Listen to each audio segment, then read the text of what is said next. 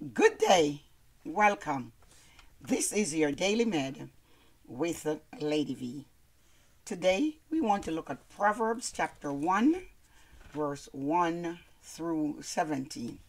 Let's see what the wise man Solomon has to say to us today, giving us instruction from the Word of God. Uh, Proverbs chapter 1, verse 1 through 7. It says, These are the Proverbs of Solomon, the son of David, the king of Israel. They will help you to learn to be wise, to accept correction, and to understand wise sayings. They will teach you to develop your mind in the right way. You will learn to do what is right and to be honest and fair. These proverbs will make even those without education smart. They will teach young people that they need to know and how to use what they have learned. Even the wise could become wiser by listening to these proverbs. They will gain understanding and learn to solve difficult problems. These sayings will help you understand proverbs, stories, and hidden meaning words of the wise and other difficult sayings. Knowledge begins with fear and respect for the Lord, but stubborn fools hate wisdom and refuse to learn. Today, our topic is wisdom or folly.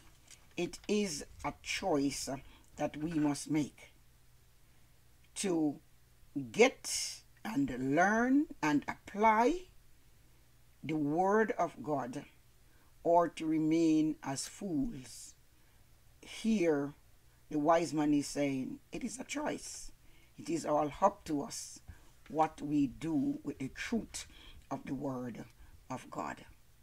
So today, Solomon, the son of David, the Bible says he was the wisest, he was the richest, and he was the most honored of the kings of Israel. Word of God says he spoke 3,000 proverbs. And these proverbs provided practical wisdom for living and for the management of our lives. The key word in these verses is the word wisdom. So, what is wisdom? The know how for us to live skillful living. His words also instruction.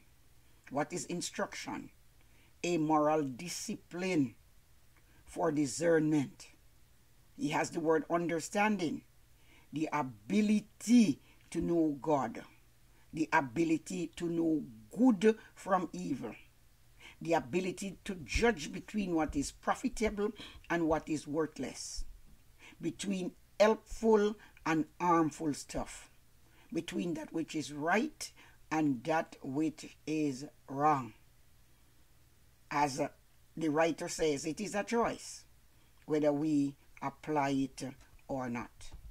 So God Himself wants us to have wisdom. That's why He provides it. The moral discipline to discern good from evil or right from wrong. So here we have been schooled in what is wise, what is righteous, what is proper, and that which is honorable. James 1 and verse 5 says, If any man, if any one of us lack wisdom, let him ask of God that giveth all men liberally and upbraideth not. What is James saying? Ask for wisdom of God if you want it, and he will let you have it. It will be given unto you.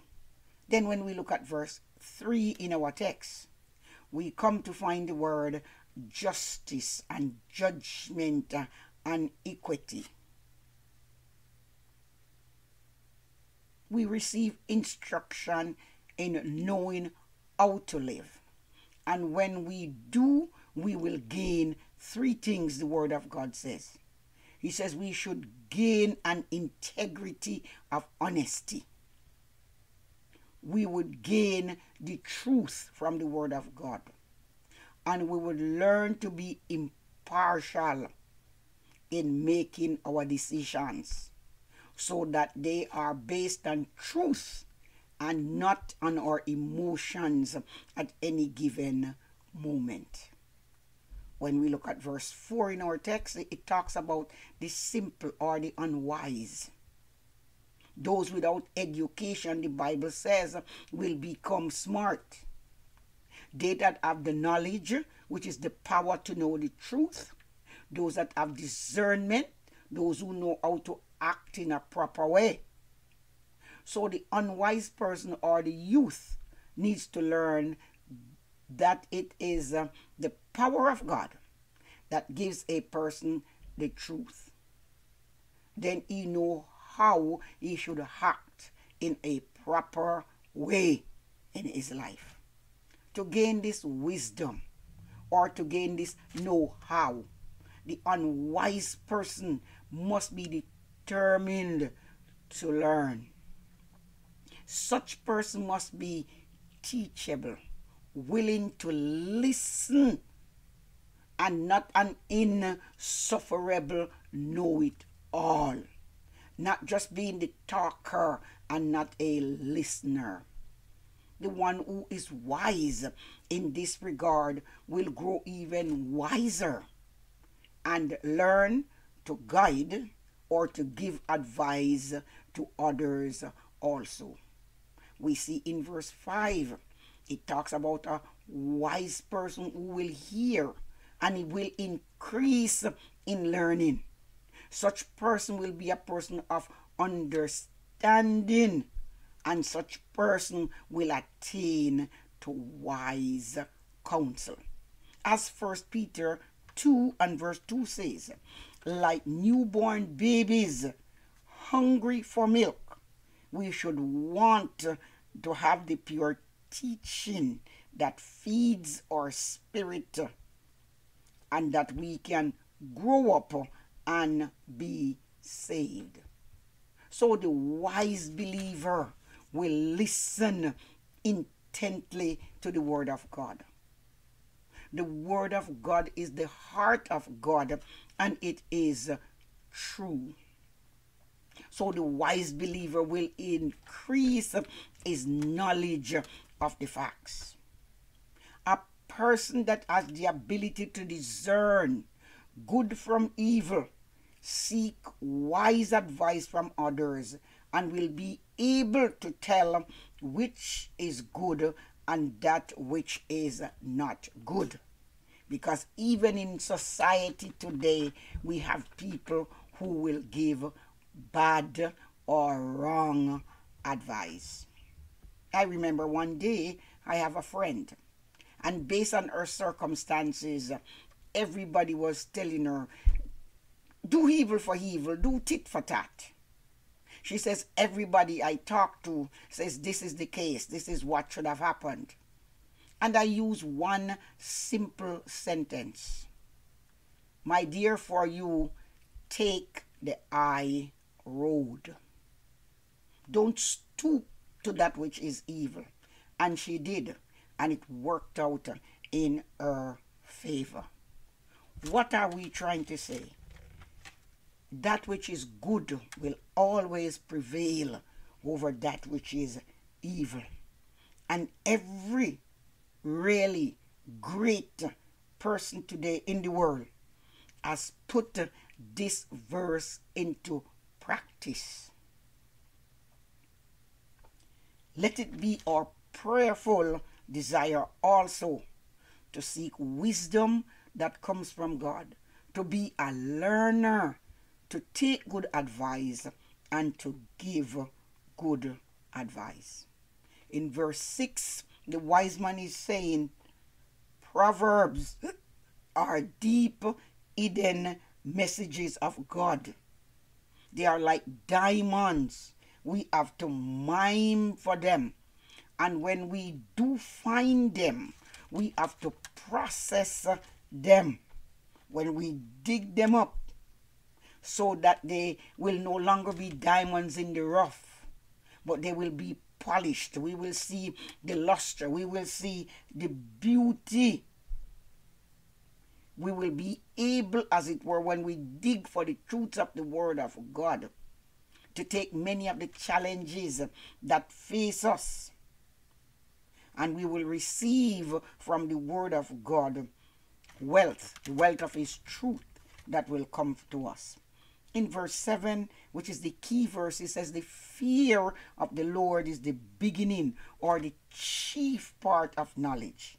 If a man wants to be wise, the place to begin is to reverence God.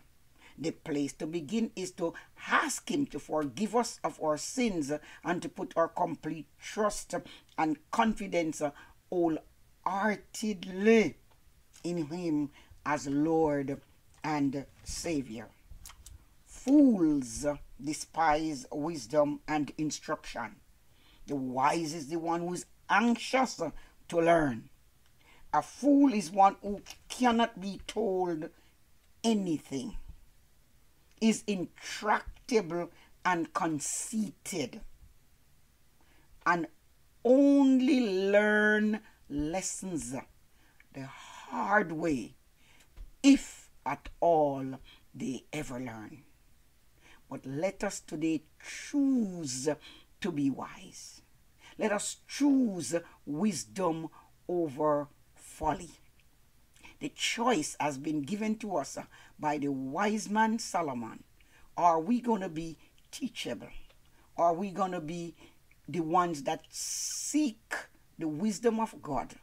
Or are we going to continue in our own way as if uh, we know it all, then our end will not be as nice as if uh, we would have chosen wisdom. God bless you today.